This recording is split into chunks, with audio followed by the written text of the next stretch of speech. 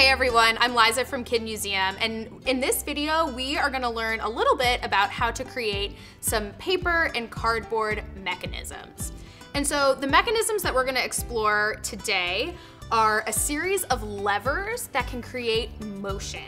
So what you can see here is I have a couple of different levers and some pivot points, some movable joints that we created using a brass fastener.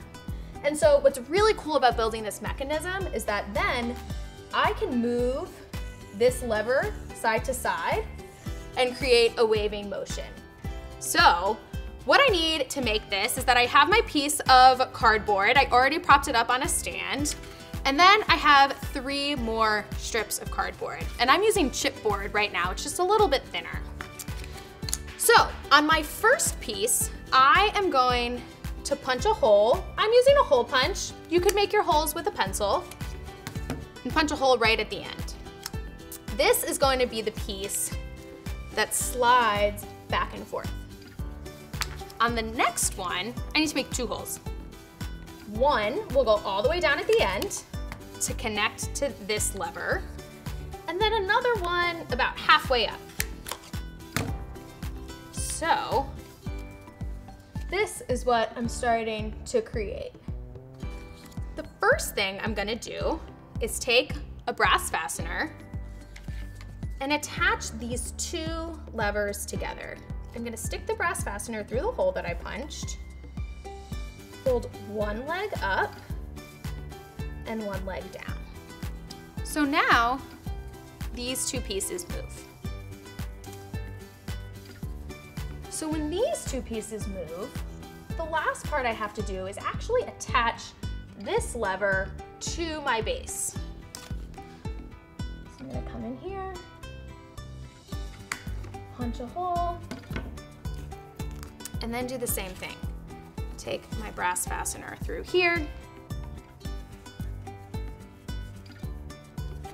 open it to secure it, so now I'm starting to get there. I have this mechanism that allows these two joints to move when I move my lever.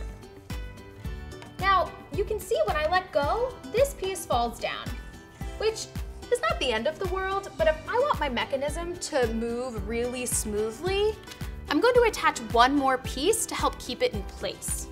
You can attach this any way you want, but basically you want to attach the top and the bottom and leave just a window in the middle for our lever to move freely. And put one at each end. And then I'm gonna hold up my lever and secure this and this end above it. So now my lever stays in line and I can create that side to side motion on the top. So I had a hand waving on my example here. I made a little sun out of some pool noodle and pipe cleaners that I had laying around. And so now I'm going to create just another tape roll, attach my sun to the top of my lever, and now I made a machine that can have the sun rise and fall. This is one of my favorite things to do using paper and cardboard. And I now challenge you to think about how you can combine different levers to create different kinds of mechanisms.